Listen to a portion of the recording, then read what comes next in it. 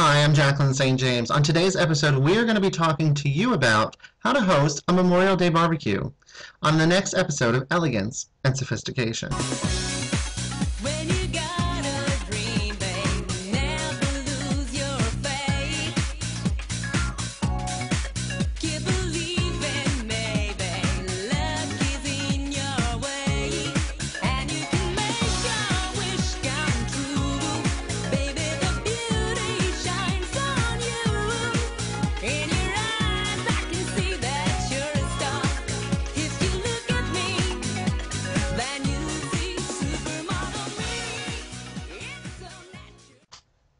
Welcome back. Memorial Day is a chance to start the summer out right, and what better way than a backyard barbecue?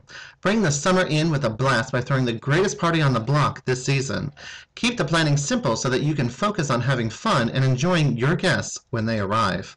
Here are some helpful instructions and tips and warnings for your next backyard barbecue. Number one, send invitations that you've made by yourself out to your friends and family. This saves time and makes your invitations more personal. Better yet, hand deliver your invitations to your friends and family. You can make cute invitations just about out of anything cardboard paper, anything. I mean, whatever you can do, be imaginative and think barbecue. Okay, remember to keep the, the menu simple. If you're having a backyard barbecue, make sure that you have plenty of food to cook on the grill. Buy easy items like hot dogs, bratwurst, hamburgers, and chicken. Finish off an easy Memorial Day barbecue with a few classics like potato salad, coleslaw, and fruit salad, of course. And don't forget, mix up some lemonade, but get creative. Make minted raspberry lemonade by adding fresh chopped mint, crushed raspberries, and some sugar to your lemonade. For the adults, set up a cocktail bar where your guests can mix their own favorites or make up new ones.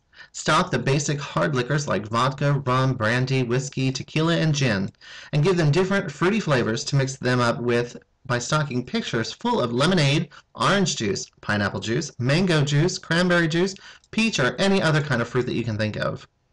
And remember, if you have kids, plan games for the kids and activities for adults too. Kids can play pin the hat on Uncle Sam. You can make your own large Uncle Sam drawing and cut out a hat out of construction paper. Adults might enjoy a game of croquet or horseshoes or even baseball if you're if you make a small field in your backyard like I have.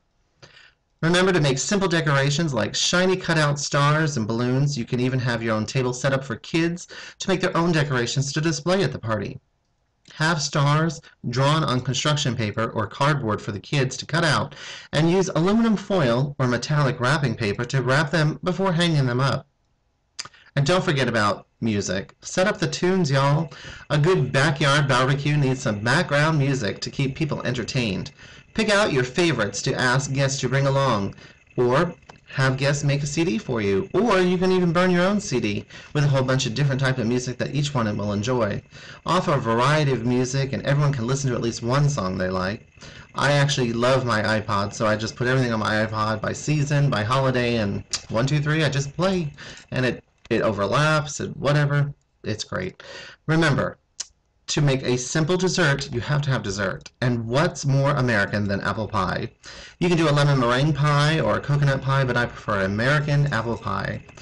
Remember to keep decorations simple. Follow the red, white, and blue theme.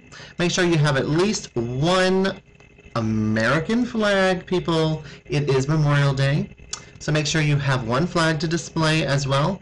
Don't forget about your vegetarian friends out there. There's always one in the group.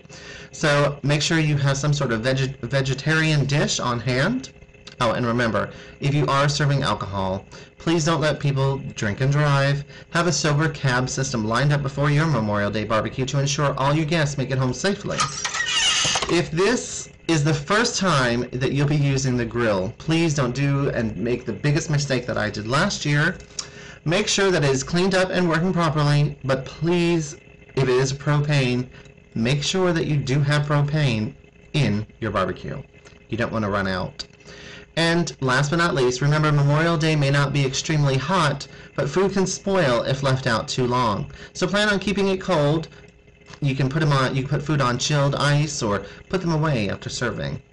So there you got it. There you have it, everybody. Memorial Day barbecue that you can host and have a great time with. I'm Jaclyn St. James, and I'll definitely see you next time with another helpful tip. Have a great barbecue.